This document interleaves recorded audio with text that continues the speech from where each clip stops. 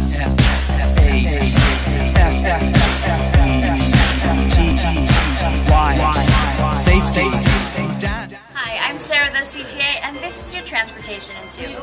Rail safety messages literally are for everyone, any age, any gender, and any group. I'm joined by more than 100 community leaders from the Vietnamese, Chinese, Korean, and Hispanic community groups to come together to raise awareness for our rail safety messages and save lives. And we are the only county in the nation to uh, dedicate ourselves to doing a rail safety program of this kind of breadth and depth and width and quality. More than 50 crossings will have safety enhancements done to them. And um, together, I think as a county family, we can move forward. And that's why we make an effort to not only make sure that the system is safe, to make sure that you're safe, and to make sure that your neighbors are safe as well. But we can only do it by reaching out to you and asking you to reach out to others to inform them of our system. Event that OCTA organized and hosting because they want to come to our communities, especially the Vietnamese community and others ethnic communities because they know that our communities are very diverse and vibrant. We're happy to do something with OCTA that's going to be benefiting businesses and our community and our families and also something that's going to benefit our organization. And we can dress real neat from our hearts to our feet and surprise them with a victory cry.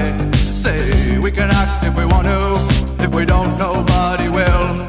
And you can act real rude and totally removed, and I can act like a Our county is continuing to grow, and more and more people are boarding our trains every day. And as a result of that, we are increasing more service later this year, which basically means more trains in our neighborhoods, in our backyards, through our communities, which is why safety is so important. We can dance, we can dance, everybody's taking the chance.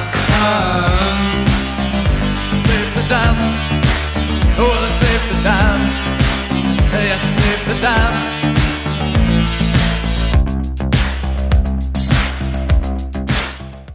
pay attention to the warning signs, the lights, and the, the arm that's come down. And I guess you better not try to beat the train. something like neighborhood watch campaign that we did you know we can do something about railroad safety really empowering the individual empowering the communities to bring this awareness into their own community